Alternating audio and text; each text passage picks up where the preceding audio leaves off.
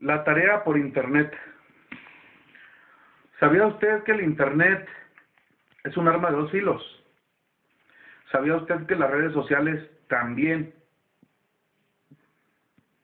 Si ya sabía qué bueno y si está observando a su hijo y a su hija cómo hace la tarea y está atento a lo que está viendo en esa pantalla, está excelente.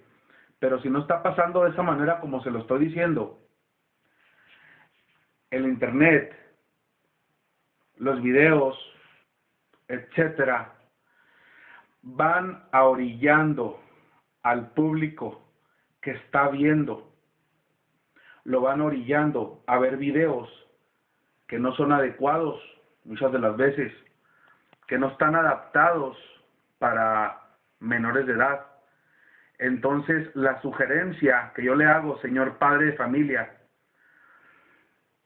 cuando sus hijos estén haciendo una tarea por internet o estén vacilando por internet, obsérvelos, porque pueden ver imágenes que no son aptas para menores.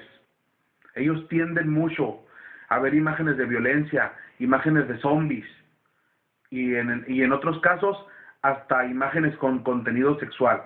Entonces, le, le vuelvo a reiterar a usted que los vigile, que vaya, que se eche una vuelta en donde están, ahí en, ahí en la pantalla, para que más adelante no nos vayamos a lamentar de que vieron algo que no debe de ser.